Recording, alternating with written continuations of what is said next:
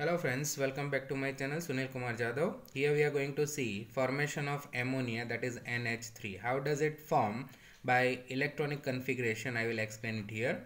One of my student had given me comment that please sir explain about the electronic configuration and the formation of NH3.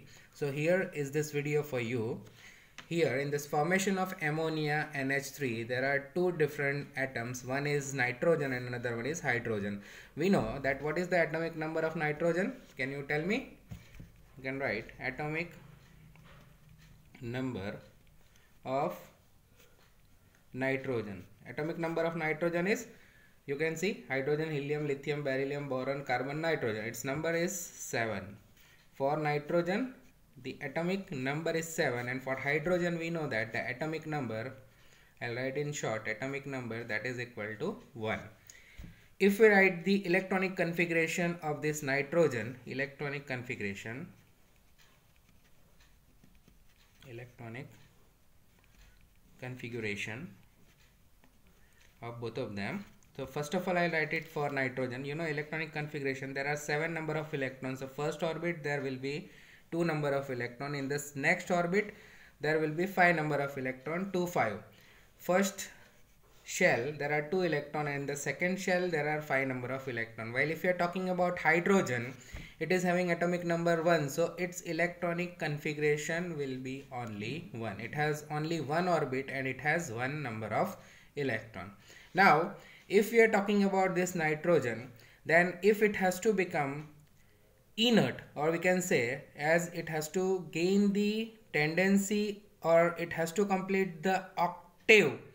It has to gain three number of electron to make its number that is outermost electron to be 8 but here when this ammonia form it is not forming the ionic bond but it will form the covalent bond. How what is covalent bond let me explain with one of the examples. Suppose one student, let me say, one student is S and another student is, let me say, P.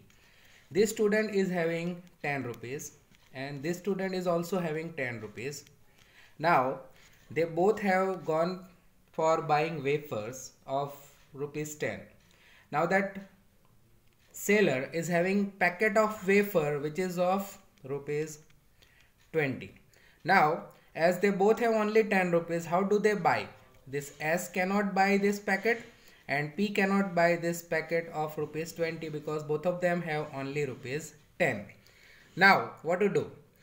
As they will not ask the shopkeeper to break the packet and give me of rupees 10 and give me of rupees 10 but what do they do? Now here the better understanding can be possible the s will not tell the p or p will not tell the s to give my that money. That is this will not give it to uh, this s and s will not give it to p. That you take the wafer and eat and i will not. Not they will not do this. Though what do they do?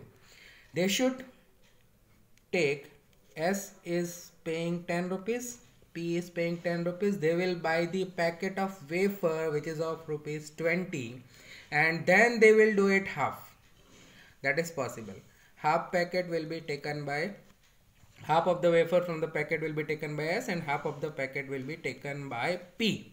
So both of them have mixed their money and they have their packet. So that is possible. Here also same thing would happening.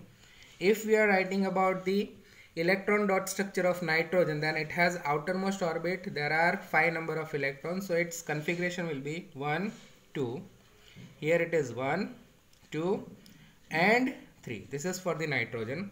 If we are talking about hydrogen it has only one number of electron in the outermost shell. Now suppose this hydrogen will be given this one number of electron to the nitrogen then its existence will not remain. So they will do the sharing of electron and will make the bond how does it possible? As i said that this electron will not donate to the nitrogen or nitrogen will not take the electron from the hydrogen but they will share the electron with each other.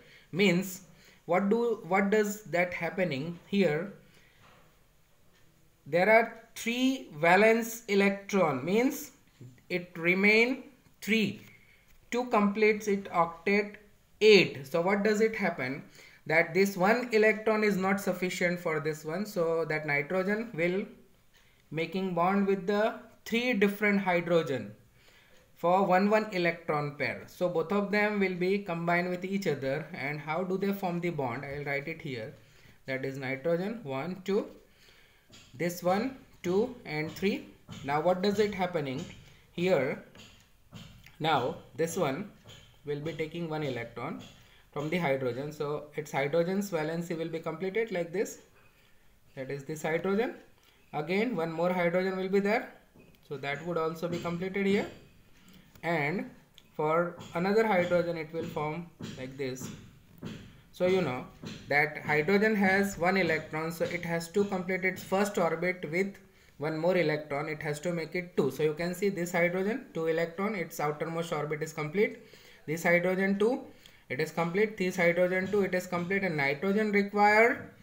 Three number of electrons so its configuration will be also completed over here like this. So you can see 1 2 3 4 5 6 7 and 8 this is how they can make the covalent bond. It makes simply the covalent bond. And its structure will be like this. That is this one. These two electrons are steady this will make the bond along with the hydrogen. That means this one. Similar way here this electron will form the bonding with hydrogen. This. And the third one will make the bond with the another hydrogen. That is this.